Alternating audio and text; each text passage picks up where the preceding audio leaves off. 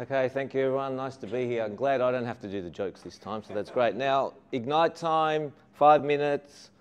Every 15 seconds, the slide's going to go past, so we need to move pretty fast, right? But hopefully, in that five minutes, I can explain exactly what I want to do today. So, I am going to talk about application and cloud misconfigurations, but some strategies around what organizations do because of the noise that these application vulnerabilities bring into the secure DevOps. So let's talk, look at the background now. So if we look at it from a perspective of what we're seeing today, most organizations now are well on the way on this journey, but there's a lot of organizations when it comes to secure DevOps that are still in the world of stopgaps before they actually deploy their apps to production. In fact, I work with some of the largest banks that still have that now.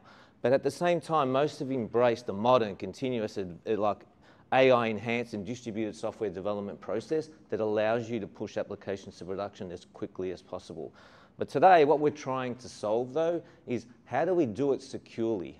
So we know we can do it fast now. Everyone's already implementing some really great strategies around DevOps, but how do we do it from a security perspective? And, and the answer that I'm seeing with most organizations now is they treat security and blocking of builds using policy as code.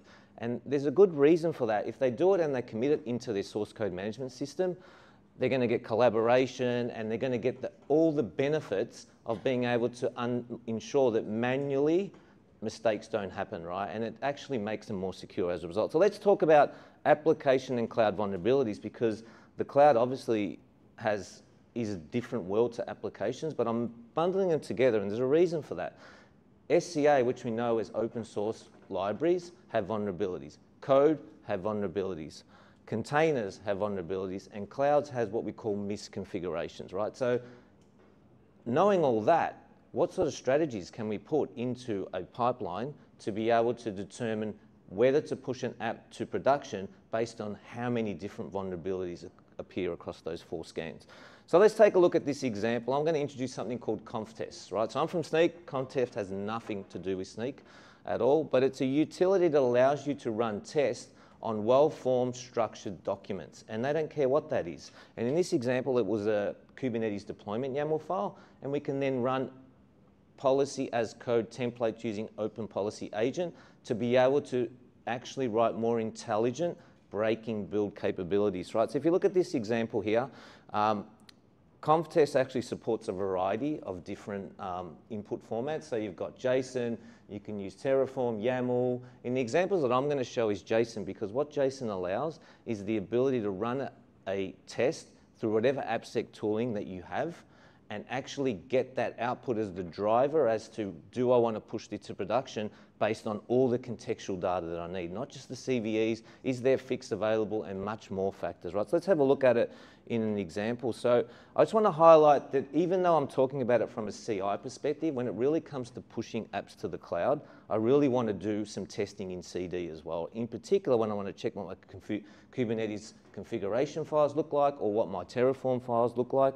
So in this example here, I'm looking at an SCA and container and code scan. I'm using a Snyk test, but it really doesn't matter what you use. But by piping it to JSON, I then get a JSON output of all the vulnerabilities from an open source perspective, right? And so I can then write a test that looks something like this. And I'm looking for three specific CVEs, and I only need one of those to break this build and not allow it to go through. So here, I'm using some smarts around looking at that data and deciding whether or not I want a build to pass.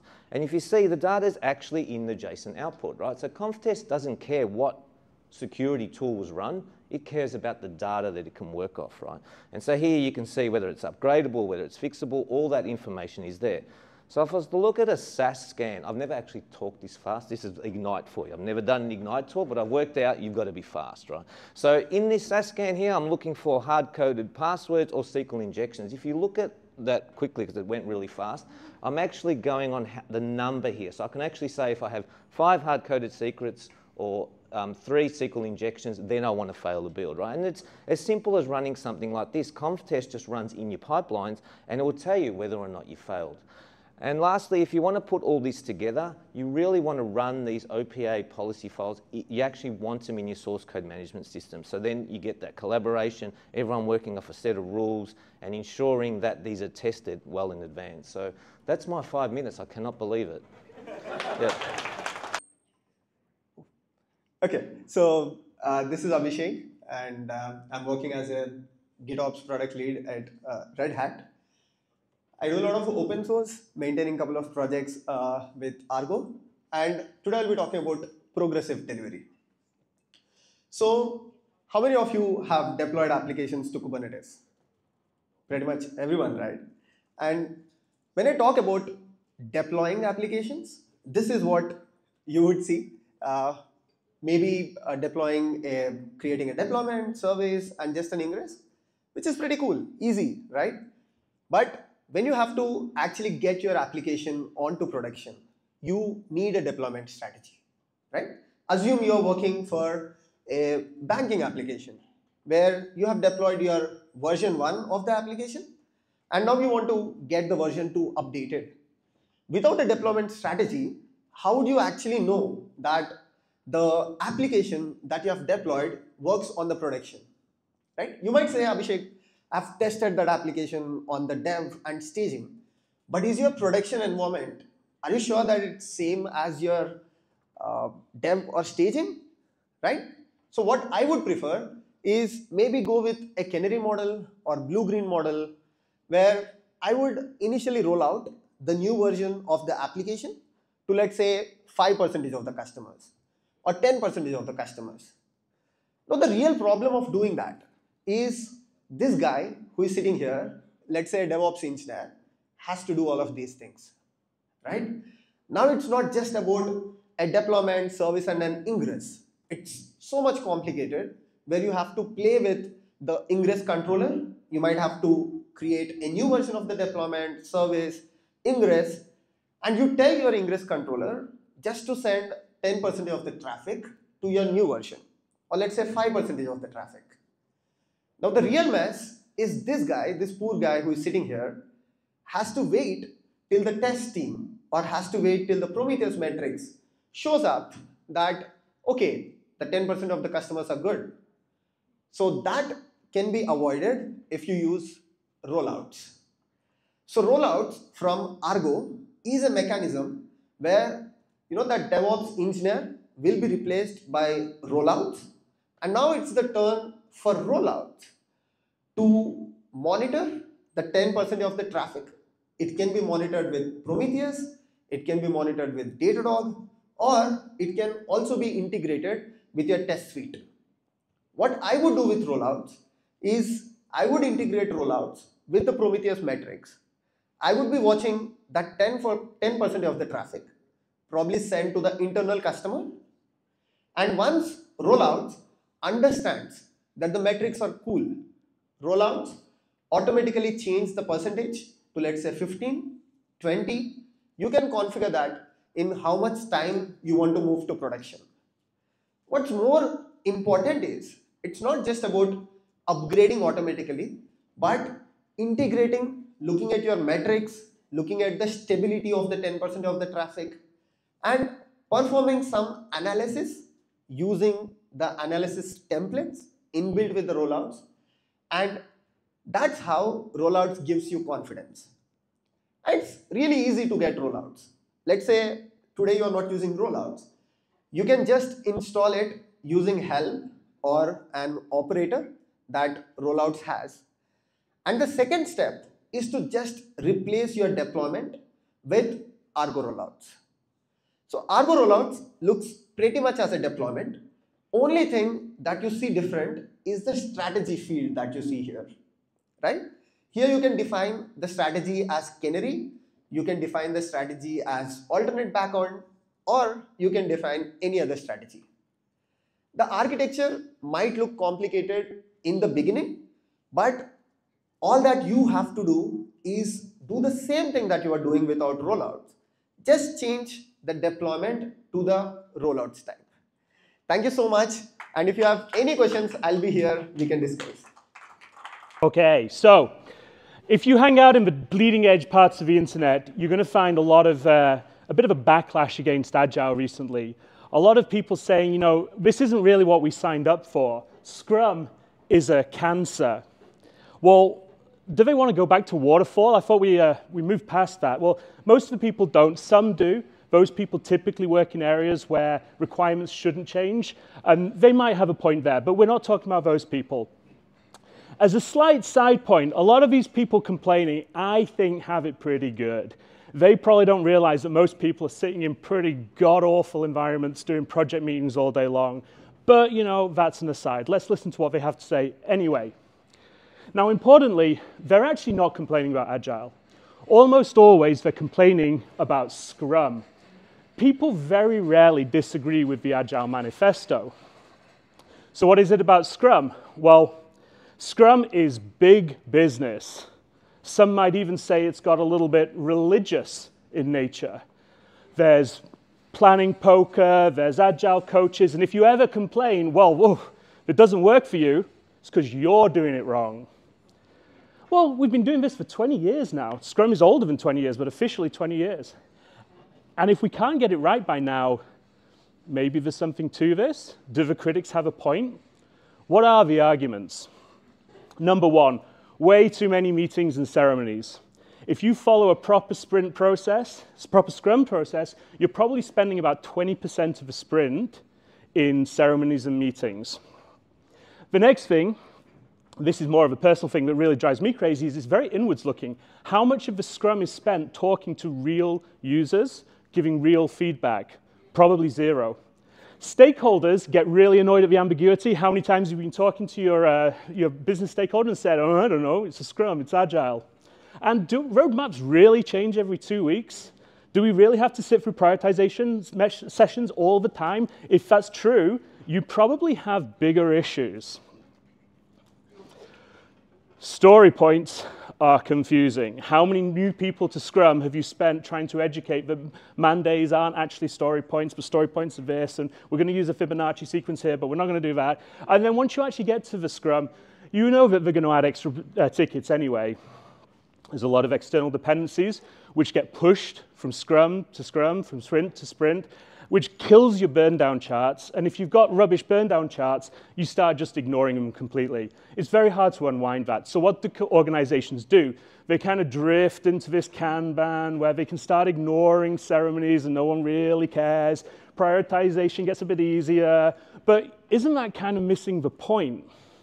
So how could we do this a little bit differently? Well, I'm proposing what I've called a surge sprint name not yet uh, to be finalized. But it's basically how do we reduce some of the overhead from Scrum based on new things that we've learned over the last few years. First thing, two weeks is way too short. Almost all of the issues with Scrum come back to the two-week sprint. If you extend it to a six-week sprint, which is what the 37 signals guy do in the shape-up methodology, a lot of this overhead actually becomes much more tolerable, and it's enough time to achieve something meaningful. Stand-ups are mostly a waste of time. They were invented before we had Slack, before we had instant messaging. You can do almost all of that asynchronously and just meet up a couple of weeks, a couple of times a week with the product owner, and that's probably enough. Add a formal user feedback session where you sit in silence while a user uses your software and you watch them as an engineer. That is one of the most awful experiences you can ever do. You will find out how your software is actually being used. And we should be much more clear about our definitions of done. Yeah, we kind of ignore that a lot of times. And if we can't articulate it, then do a one-week design sprint first to get a better picture of what it is you're trying to build. CI/CD didn't exist when we started Scrum, and so the two-week period was really a way of trying to get a lot of deployments. Well, we've got CI/CD now, we've got feature flags. We should be releasing continuously, not trying to force it into a two-week uh, cadence. And engineers love a bit of freedom. Why is it that we can't prioritize anything? Well, if you've got a clear definition of done, and you've got six weeks to do it in, then you can get that freedom back again. Engineers can lead the prioritization as long as the product team sets the vision. What I love about this is nothing I've just said contradicts anything from the Agile Manifesto. We are uncovering better ways of developing software by doing it. And I think that we have learned a lot since Scrum came out. Thank you very much um, thank you very much. My name is Harish. I am here to talk a little bit about AI. I'm sure you have heard of it and the hype around it. So I'm hoping that this will be useful at some point. So I'm suggesting that this, I'm asking the question, is AI the new DevOps? Or as the inside joke earlier was, is, should it become uh, Dev AI Sec Ops or Dev Ops AI Sec or whatever it may be, right? So something like that. So the question is, do I care and why do you have to care about this? Because you guys are the ones who are leading the pack by trying new things, as we heard in the previous speaker. So what does AI offer to DevOps that is not already being done? To do analysis, the amount of data that was shown earlier with the, uh, when you want to have deployment and you want to have 10 seconds or 10 minutes of one particular analysis and another, can AI help you to do those kinds of stuff in a meaningful fashion? So you don't have to worry about someone monitoring it and then looking at logs and so on. So can this help you? So if as AI becomes a tool in the suite of DevOps operations, that changes how you may approach the entire process. And I think that will be a good thing to see happen. Now, what kind of AI are we talking about? It could be Gen AI, but that's a topic for another one. So can AI help DevOps teams with monitoring and incident response? I think, again, going back to the, one of the earlier speakers, there's a large amount of data. We all know that. There's so much flowing through. How do I know what is it that I have to be looking at, that I need to assess, I need to analyze and move and act upon? This becomes a lot harder as we move through the amount of data that is being created, and we are all aware of it. There's nothing new that I'm telling you here. All I'm asking you is have you considered using AI in the system, especially when you deploy AI to do analysis? Is there a human in the loop, or are you forgetting the human in the loop? Don't forget the human loop. Otherwise, you have a bigger problem to deal with, which is not what you want to be uh, stuck with. So is AI enhancing collaboration and comms within uh, DevOps teams in this instance? This is probably one of those things that we probably have underlooked. Like as, as was mentioned earlier, things like Slack and all this, this is an excessive amount of information that's flowing up and down. Can I have a summary of all the conversations that happened last night? So eh, can AI help me to do that? So is it possible as in the, the uh, second bullet says, helping teams to work effectively by providing suggestions and recommendations. So if there's a bunch of conversation happen, you haven't been party to it, can that be summarized and so that you can then probably uh, use that as input for something else? So at the end of the day, these tools need to be reviewed and reassessed every now and then for currency. Otherwise, there may be a mistake that comes in the summary, and then you act on that, and it becomes an even bigger mistake. So AI is not the solution for everything, but it is a great help. It's a tool moving forward. So does AI require a cultural shift in DevOps? My answer is yes. I think it needs a cultural shift. But in terms of the shift, does it enhance the productivity in the long term? I, I, I posit that it will. Now, how would it be? That is really up to us collectively to figure out how to en engage, use, deploy, and understand from it, and change accordingly. So this will involve investing in new tools, upskilling team members. That, to me, is the bottom line. The skill sets are critical. If you don't have the skill sets, then you're just trying something and it breaks, and then you blame the wrong tool, the tool for your wrong actions. So ethical consideration. Now, ethics is all about something that we have to be concerned about at all times, especially when you deal with AI, because there's always this issue of data privacy, the issue of bias. How do we ensure that something that responds to your solutions is not biased? It's, there's no uh, data privacy or uh, security issues. Uh, having clear guidelines and policies. I don't know how many of you here have po proper policies from AI usage, data structures, and so on within your organization. I don't know. These are important things that have to come back up again when you deal with AI. Active and continuous review of tools. Once you deploy a tool doesn't mean that's the end of it or everything is good. No, you have to review the tools. The tools may itself be a problem. So we need to go back and look at it. So in summary, if you as a, in the DevOps teams do not use these kinds of tools to help you, you're going to be sidelined by other teams that are going to use it or other organizations. Lean forward and learn from it. Because if you don't do that, and I know this is the group that will do it, so I don't have to preach to the, uh, you know, the converted here, but it's a reminder do that, experiment it, try it. Above all, have fun. I can be reached at those places. Thank you. Okay. Hi, everybody. My name is Stefan. I'm the CTO at Guardrails, where we make uh, security painless for humans by building the first ever AI security engineers. And today, how do we get from manual control to self-driving, but for security, and what this has to do with AI security agents? But first, let's engage. I want to ask you a few questions, so please, uh, to see why this matters. If you write code in your organization that is crucial for your company, please raise your hand here. If you think this code should be secured, keep your hand up. And this is now for everybody, writing code or not. Have you ever dealt with security and found it to be frustrating? Raise your hand or keep it up. Yeah, look around. It's a shared experience for all of us. Thank you. So, it's true. Security is frustrating. And not just for the development teams, but also for the security folks. And so why is that? It's because, it's because um, we actually, um, like, you it has always been like this. Security was always frustrating for everybody, but don't worry, there's actually a light at the end of the tunnel. So security tooling is actually ripe for a disruption. Imagine a world where instead of giving, giving, uh, getting hundreds of vulnerabilities in your inbox that you have to deal with, you just get really accurate vulnerabilities with exact fixes for your code. And so, how is this even possible? It's possible because of AI security engineers that can tirelessly do the heavy lifting for you so that you don't have to do anything. It's actually very similar to how the evolution of cars is evolving, from manual driving to getting more and more autonomous and self-driving. And actually security, we can finally steer towards, uh, steer away from manual review towards automated AI security uh, defenses and workflows. So just like uh, autom uh, autonomous car, security is now able to go from the manual efforts very much to automatic defenses. So now I would like to introduce the six levers of application security automation.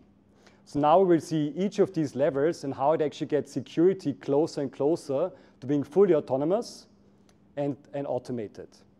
So first off, level zero.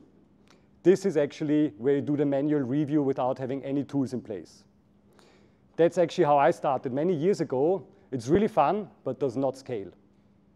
Level one, this is actually where you have some tools available.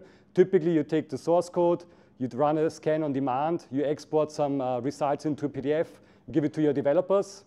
Sounds familiar? You probably have experienced that. It sucks. Now, level two is actually where we are at right now, state of the art.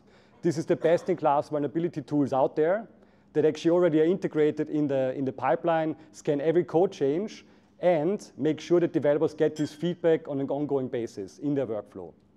The problem is these tools, even though they've gotten much better, they're not smart.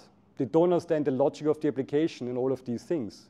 So what ends up, what happens is that we as humans have to look at all of the vulnerabilities and manually triage them and actually find fixes for them. It doesn't work. That's where level three comes in. The first, the AI security engineers that actually look at the code, triage it, and find the fixes based on the security, uh, the context of the application. And this is where it's not, uh, where it's in, uh, not confident. It has human in the loop and can escalate to humans with the full context. Level four is actually where these secure AI security engineers get closer and closer to a human and can actually identify logic issues in your application. This is mostly autonomous, but actually you can still steer it towards um, special use cases in your application. And finally, level five, this is where you are essentially at the expert level already, and you can fully autonomously identify and fix vulnerabilities in your entire organization based on the full business context. And this is essentially where we're going. There's still a long road ahead, but level three is underway. And um, we're already working on level three right now, and I would love to show you how this actually looks like and what value this unlocks today. So yeah, I hope this ignited your curiosity. And uh, connect with me on X or go over to Guardrails AI to see a glimpse of the future. Thank you very much. Hi everyone, it's me again. I'm Minh. I'm the modern app specialist from F5. I love storytelling. So today I'm going to share you a story about James, the IT applications. So every day she needs to struggle between how does she manage the legacy system together with the modern apps. So it's keep her constantly on her toe. And then she heard about Nginx Plus. The consultant told her that Nginx Plus can help to simplify her workload and enhance security. So it started like just what she needed for, for to, to tackle her IT tasks. But first, what is Nginx? It is actually a lightweight proxy technology that will help you to manage, um, uh, it's like a, an all-in-one tool that can help you to manage different aspects of your DevOps uh, cycle. I'm going to share more later. But then what, what about Nginx Plus? Okay, this is a licensed version of Nginx with enhanced ca capability. So how is it so? So Nginx Plus as an application delivery controller, it can help to direct traffic into your application and it can help to balance loads across servers, serve your web content swiftly, uh, the frequently accessed data, and um, simply manage traffic into your Kubernetes cluster. So um, these things, um, this, these things now is, um, is one of the things on demand. And uh, when it comes to API operations, Nginx Plus is like a Swiss Army tool because it will help you to control all the APIs that coming, all the API traffic that coming into your applications. So at the same time, it keeps your API strong with robust security features and um, it will act as like the gatekeeper for your API. So it controls things like rate limiting, what kind of protocol that's coming uh, so that it keeps your API strong and secure. Um, we also have another aspect which is adds on to everything of Nginx with the application security. So this one is take care of the is keep your overall application strong and healthy. And then it helps you to protect the application against the evolving threats, cyber attacks like bot protection and um, DDoS protection. Um, so this thing, this app protect, it can help you when it comes to DevOps, when people care about the API security, then you can think of like open API spec enforcement. It's one of the things that app protect can help you um, so does this solution have an interface? Yes, we have the Nginx Instance Manager. This Instance Manager can help you to manage all the Nginx instances. You, you can see how the instances are performing, what's the health of it, and it's also analyze the performance so that it can give you suggestion of how can you improve the performance of your Nginx instances. Last but not least, we have this feature, it's called Universal Application Server. So this thing is provide a runtime for different kind of languages and services. So we support like Python, PHP, uh, Node.js, Go, Perl, Ruby, and the new kit in town, WebAssembly, Wasm. Uh, so what what else special thing uh, about this thing is is uh, is a fully dynamic application server. So meaning you can change the configurations by sending a JSON REST API. So it can help to uh, it can help you to have uh, this application uh, without the reload, as in the, the um, configuration will be in place. So this is the full pictures of our Nginx Plus uh, features, and I know it's very confusing, so that's why I have this slide to decipher the concept for you. So you can put Nginx Plus as here, as the load balancer for CDN, or you can put it as a, a API gateway over here to direct traffic to go into your, uh, your application behind. Yep. So uh, this Nginx App Protect is actually the Nginx security that I was talking about. So it has the same flexible deployment principle that apply to Nginx. Wherever you deploy Nginx, you can deploy Nginx App Protect. Um, and uh, this thing we have Nginx Ingress controller. So if you're using Kubernetes, you should know about the Ingress controller. So um, are you aware that uh, Nginx Ingress controller are actually more superior than the Daisy Kubernetes uh, Ingress controller? But I wouldn't be able to tell you within 15 seconds, so check out the F5 book behind. Yeah. So, um, so now back to our IT manager, Jean. She loves Nginx now because it's, it's like an all-in-one solution to her. And um, what about you? Um, check out the nginx.com for more information and travel. Thank you.